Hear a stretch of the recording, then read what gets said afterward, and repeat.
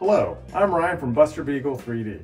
Today I'm making this short video to go over working with the original Buster Beagle 3D injection molding machine.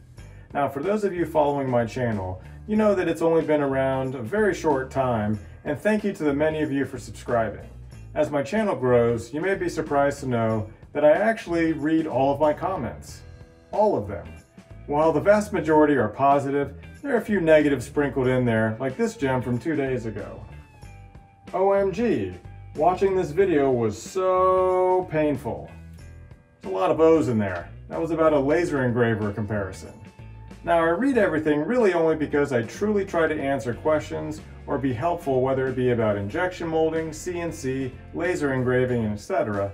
I really just ignore the negative comments, but one that I've seen pop up a few times, which I'm more just perplexed by, is that I'm somehow hiding the work of the injection molding machine because I never show me pulling down the handle and there's no way that the machine can do what I say it does.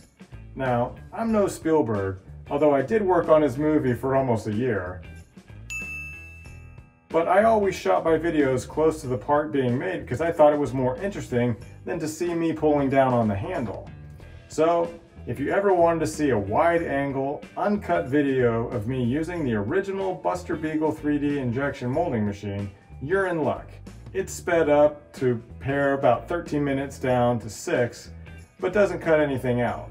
So hopefully this isn't so painful and only includes one more Spielberg reference. So let's get started.